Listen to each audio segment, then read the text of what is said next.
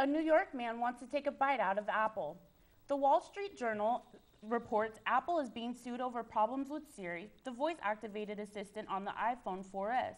Frank Fazio claims Apple's ads are misleading and deceptive because they overstate Siri's capabilities.